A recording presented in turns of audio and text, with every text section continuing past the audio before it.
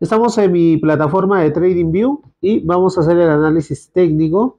Precio por acción 38.35, 34, como puedes ver, estamos a tiempo real y vamos a ver cómo está el precio, ¿no? Como puedes ver, ha habido una fuerte caída, ha roto la zona de acumulación con proyección bajista.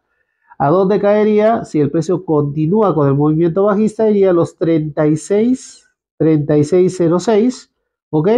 Y si cae por debajo de los 36.06, iría a los 31.67.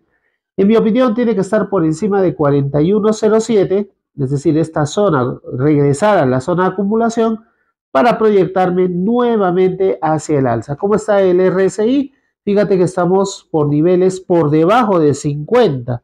Entonces todavía hay probabilidad bajista y podría el precio caer todavía un poco más en Intel.